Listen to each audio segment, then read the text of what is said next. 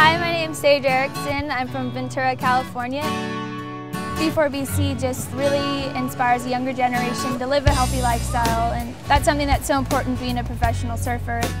I'm really excited to be doing a a t-shirt feature and um, it's such an amazing opportunity. I think B4BC does such an awesome job at you know encouraging the younger girls to live healthy and you know be aware of breast cancer which is important.